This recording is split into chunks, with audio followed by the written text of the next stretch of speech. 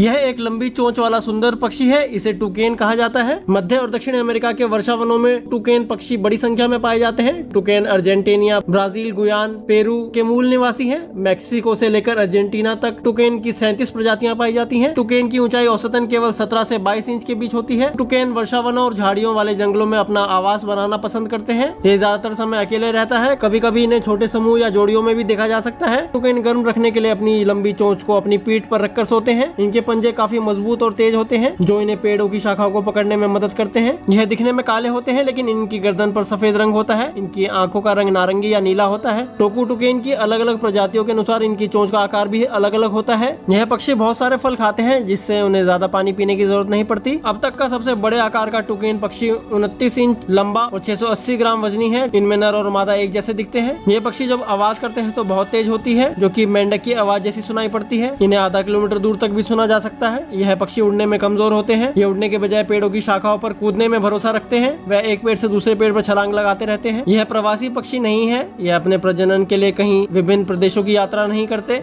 वे उसी क्षेत्र में प्रजनन करते हैं जहाँ ये वर्ष भर रहते हैं। टोकू टुकेन पक्षी की आबादी अज्ञात है, लेकिन माना जाता है की इनकी आबादी लगभग दस है।